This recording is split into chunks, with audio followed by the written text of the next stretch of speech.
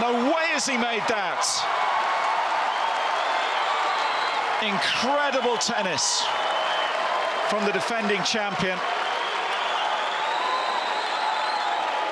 Oh, can you believe it?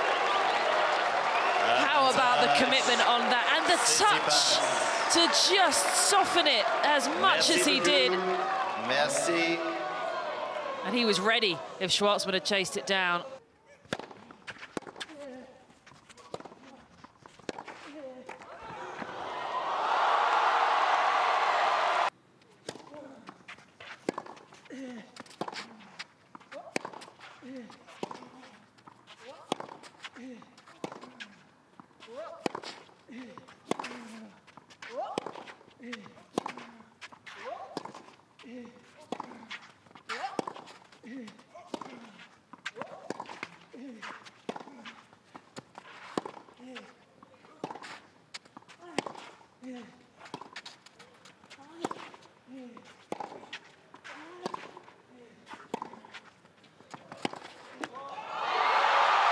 It's a victory to savour for Stefanos Tsitsipas, the defending champion. Somehow he's scrambled into the semi-finals.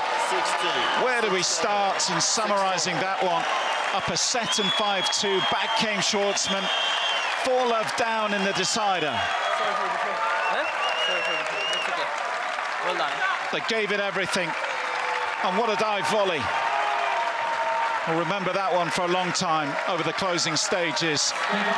The Greek goes through to the final four. Back in the semis. And the title defense is still alive.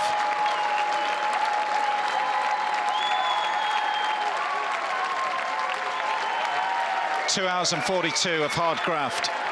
He's done it 6-4 in the third.